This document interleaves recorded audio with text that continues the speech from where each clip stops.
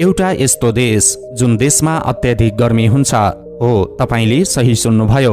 यो देशमा यति धेरै गर्मी हुन्छ कि तपाईँ यहाँ एसी बिना पाँच मिनट पनि टिक्न सक्नुहुन्न। यसो त यो देशमा रोजगारीका लागि धेरै नेपालीहरू गएका छन्। यो देशमा घरेलु कामदारका रूपमा गएका नेपाली चेलीहरू शारीरिक दुर्व्यवहारको शिकार हुने गरेको खबर पनि बेला बेला बाहिरिने गरेको छ। यसो त यो देशका मानिसहरू पैसा यति धेरै कमाउँछन् कि उनीहरू पैसामाथि नै सुत्छन् भन्दा पनि फरक पर्दैन। साथै तपाईँले स्वदेशका युवतीहरू देख्नुभयो भने गर्मीका साथसाथै बेचैनीको पनि महसुस हुनेछ। पक्कै पनि अब भने तपाईँले अनुमान गरिसक्नु भएको होला कि हामीले कुन देशको बारेमा जानकारी दिँदैछौँ भनेर। आज हामी एसिया महादेशमा पर्ने निकै सानो तर अति सम्पन्न देश कुवेतको बारेमा रोचक जानकारी प्रस्तुत गर्दैछौँ। भिडियो सुरु गर्नभन्दा पहिले तपाईँ हाम्रो युट्युब च्यानलमा नयाँ हुनुहुन्छ भने कृपया हाम्रो च्यानल सब्सक्राइब गरी यो भिडियो कुन ठाउँदेखि हेर्दै हुनुहुन्छ कमेन्ट गर्नुहोला। आउनुहोस् सुरु गरौँ आजको स्पेसल एपिसोड जहाँ हामी तपाईँलाई कुवेत देशको बारेमा केही यस्ता रोचक जानकारी दिनेछौँ जसको बारेमा तपाईँले न त कहिले सुन्नु भएको छ न त देख्नु भएको नै छ। दर्शक वृन्द के तपाईँलाई कुवेत देशको पुरा नाम थाहा छ? कुवेतको पुरा नाम हो दबलात अल कुवेत साथै तपाईँलाई जानकारी दिउँ कि यस देशको स्थापना सन् सोह्र सय तेह्रमा भएको थियो। यसो त कुवेत एक निकै सानो देश हो। कुवेत पश्चिम एसियामा अवस्थित एक सार्वभौम अरब इमिरेट्स हो। यस देशको उत्तरमा साउदी अरेबिया र उत्तर र पश्चिममा इराकसँग सीमा जोडिएको छ। यो देशको जनसङ्ख्या धेरै कम छ यहाँ निकै थोरै मानिसहरू बसोबास गर्छन्। कुवेत देशको हालको जनसङ्ख्या त्रिचालिस लाख दस हजार मात्र रहेको छ। बाँकी सब भिजामा काम गरिरहेका छन्। यो देश भलै सानो देश हो तर यो निकै धनी रहेको छ। यहाँको करेन्सी दुनियाँको सबैभन्दा ठुलो करेन्सी हो। यो भिडियो बनाउँदाको विनिमय दर अनुसार कुवेती एक दिनारको नेपालमा चार सय उनातिस नेपाली रुपैयाँ हुन आउँछ। यसो त तपाईँलाई थाहा हुनुपर्दछ अरब देशमा धेरै गर्मी हुन्छ। यहाँ दिनमा बाहिर निस्कनु आगोको हवाला गर्नुको बराबर हो। यस देशमा गर्मी अत्याधिक हुन्छ। दिनमा यहाँको टेम्परेचर करिब पचासदेखि पचपन्न डिग्रीसम्म पुग्छ। दुनियाँका सबैभन्दा सुन्दर महिला भएको देशहरूको कुरा गर्ने हो भने कुवेत यसमा पनि धेरै अघि आउँछ। कुवेतका महिला हदभन्दा बढी सुन्दर हुन्छन्। उनीहरूको सुन्दरता देखियो भने तपाईँको पनि होस उड्नेछ। के तपाईँले कहिले कुवेती युवती देख्नु भएको छ? देख्नु भएको भए कमेन्ट गरेर हामीलाई अवश्य बताउनुहोला। यसो त कुवेत दुनियाँको यस्तो देशमा पर्दछ जहाँ मदिरा पिउन बेच्न वा लिएर आउन पाइँदैन। यहाँ मदिरा पिएको समयमा समातिनु भयो भने तपाईँको खैरात छैन।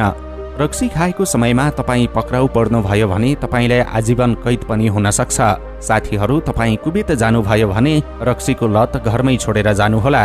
यो देशमा धेरै जसो व्यक्ति धनी छन्। लगभग हरेकको साथमा आफ्नो आफ्नो कम्पनी छ। यसैले भनिन्छ कि कुवेतको कुल सत्तरी प्रतिशत आय यहाँको तेल उद्योग तथा कल कारखानाबाट हुने गर्दछ। धेरै धनाढ्य भएका कारण त्यहाँका मानिसहरूको लाइफ स्टाइल पनि धेरै शानदार हुने गरेको छ। कुवेतमा जो कसैको घर पनि चार बेडरुम भन्दा बढी हुने गर्दछ। साथै धेरै मानिसहरूको साथमा आफ्नो पर्सनल ठुला ठुला गार्डन पनि हुने गर्दछ। दर्शक वृन्द उन्नाइस सय एकसट्ठीसम्म कुवेतमाथि ब्रिटेनले राज गर्दथ्यो। जब उन्नाइस जुन उन्नाइस सय एकसट्ठीमा ब्रिटेनबाट कुवेत एक स्वतन्त्र राज्य भएको थियो त्यो समय ब्रिटेन कुवेतमा राज गर्दथ्यो। अब त्यस समय उनीहरू सबै तेलको भण्डार आफ्नो कब्जामा लिएर दुनियाँका बाँकी देशमा धेरै पैसा लुट्ने गर्दथे। यसो त खाडी देश कुवेतमा धेरै कम वर्षा हुने गर्दछ। एभरेजमा हेर्ने हो भने कुवेतमा एक सालमा सिर्फ दुई दिन वर्षा हुन्छ। तिन सय पैँसठी दिनमा सिर्फ चालिस घन्टा मात्र वर्षा हुने गर्दछ ताकि यो अरू देशको तुलनामा धेरै कम हो। त्यसैले कुवेतमा पानीको कमी छ। मानिसले प्रयोग गर्ने पानीको कुरा गर्ने हो भने यो देशमा समुद्रको पानी नै प्रयोग हुने गर्दछ। समुद्रको नुनिलो पानीलाई मेसिनद्वारा शुद्धिकरण गरी प्रयोगमा ल्याइने गरिन्छ। दर्शक वृन्द के तपाईँले पत्याउनुहुन्छ कुवेतमा पिउने पानी भन्दा खाना बनाउने ग्यास सस्तो छ? त्यसैले त कुवेतमा रहेको सबै तेल प्रयोग भयो भने उसको साथमा केही पनि हुने छैन। यो देशमा पानी पिउन महँगो छ तर खाना बनाउन कैयौँ गुणा सस्तो छ। कुवेतमा लिब्रेसन टावर नामक अग्लो भवन छ जसको उचाइ बाह्र सय बिस फिट छ। यो संसारको सबैभन्दा अग्लो भवन मध्येको एक हो। यो टावर कुवेत सहरको सबैभन्दा प्रसिद्ध ठाउँहरू मध्येको एक पनि हो। धार्मिक कट्टरताको मामिलामा पनि कुवेत अन्य अरबी देशहरूभन्दा पछाडि छैन। यहाँ रमजानको महिनामा सार्वजनिक स्थानमा खाने पिउने चर्को स्वरमा गीत बजाउन र नाच्न कानुनी रूपमा निषेध गरिएको छ। यदि त्यस्तो गरेको पाइएमा जेल समेत जानुपर्ने हुन सक्छ।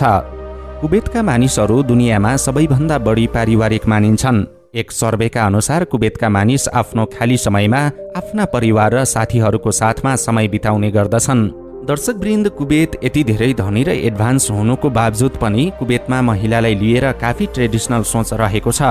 त्यसैले धेरै वर्षको सङ्घर्षपछि सन् दुई हजार पाँचमा कुवेतका महिलालाई पूर्ण राजनैतिक अधिकार दिएको थियो। अब भने कुवेतमा महिलाका बारेमा उनीहरूको सोच बदलिँदै गएको छ। यसो त दर्शकवृन्द दुःखद कुरा के छ भने बाध्यताले कामका लागि यस देशमा पुगेका केही नेपाली महिला कामदारहरूमाथि शारीरिक तथा मानसिक दुर्व्यवहार भएका समाचारहरू पनि आउने गरेका छन्। खाडी मुलुकमा काम र दामको लोभमा गएका धेरैजसो नेपाली महिला कुनै न कुनै समस्या बोकेर फर्कने गरेका छन्। अपवादमा एक दुईले सोचे जस्तो काम र दाम कमाए पनि धेरैले नसोचे जस्तो काम पाएका छन् न त भने जस्तो दाम। त्यसो त खाडी र मध्यपूर्वी देशमा जाने महिलाहरू रहरले भन्दा पनि बाध्यताले जाने गरेका छन्। दर्शक वृन्द तपाईँ पनि कुवेत जानुभएको छ भने त्यहाँको अनुभव हामीसँग सेयर गर्नुहोला। आजका लागि हाम्रो भिडियो यही सकिन्छ। भिडियो कस्तो लाग्यो राम्रो लाग्यो भने लाइक कमेन्ट तथा सेयर गर्न नभुल्नुहोला।